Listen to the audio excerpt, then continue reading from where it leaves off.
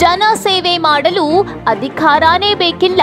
ಸಂಘ ಸಂಸ್ಥೆಗಳ ಹಾಗೂ ಒಕ್ಕೂಟಗಳ ಮೂಲಕವೂ ಇಂತಹ ಫೌಂಡೇಶನ್ನಿಂದ ಜನ ಸೇವೆ ಮಾಡಬಹುದು ಎಂದು ನಗರಸಭೆ ಸದಸ್ಯೆ ಸುಜಾತಾ ಪಾಲಯ್ಯ ಹೇಳಿದ್ದಾರೆ. ಚಳ್ಳಕೆರೆ ನಗರದ ನೂತನ ಗಿರಿಜಾ ಫೌಂಡೇಶನ್ ಉದ್ಘಾಟನಾ ಸಮಾರಂಭದಲ್ಲಿ ಮಾತನಾಡಿದ ಅವರು ಫೌಂಡೇಶನ್ ಎತ್ತರವಾಗಿ ಬೆಳೆದು ಸಾಮಾಜಿಕ ಸೇವೆಯಲ್ಲಿ ತೊಡಗಿಕೊಳ್ಳಲಿ ಎಂದಿದ್ದಾರೆ. ಇನ್ನು ತಹಶೀಲ್ದಾರ್ ಎನ್ ರಘುಮೂರ್ತಿ ಮಾತನಾಡಿ, ಹುಟ್ಟು ಸಾವು ಯಾರನ್ನು ಹೇಳಿ ಕೇಳಿ ಬರುವಂಥದ್ದಲ್ಲ. ಆದರೆ ಇದರ ಮಧ್ಯದಲ್ಲಿ ನಾವು ಮಾಡುವ ಸಾಮಾಜಿಕ ಕಾರ್ಯ ನಾಲ್ಕು ಜನಕ್ಕೆ ಉಪಯೋಗವಾಗುವಂತಿರಬೇಕು ಎಂದು ಹೇಳಿದ್ದಾರೆ.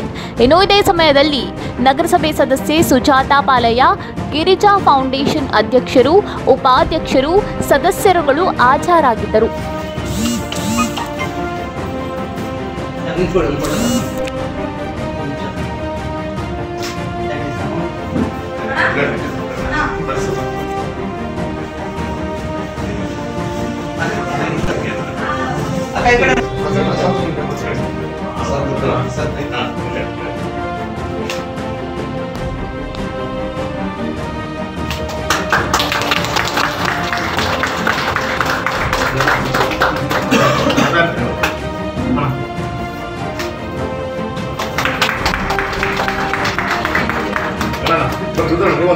ನೀವು ಹೋಗೋಣ ಅಂತ ಸ್ವಲ್ಪ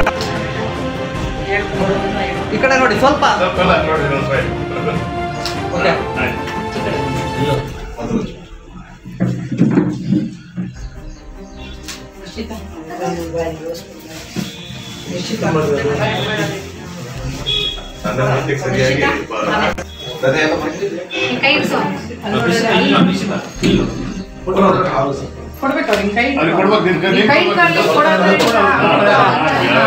ಇನ್ನಷ್ಟು ಸುದ್ದಿಗಳಿಗಾಗಿ ಸಿಟಿ ಚಾನೆಲ್ ಚಳ್ಳಕೆರೆ ಸಬ್ಸ್ಕ್ರೈಬ್ ಮಾಡಿ ನಮ್ಮ ಚಳ್ಳಕೆರೆ ಟಿವಿಯನ್ನು ಪ್ರತಿದಿನ ಸಂಜೆ ಎಂಟು ಗಂಟೆಗೆ ವೀಕ್ಷಿಸಿ.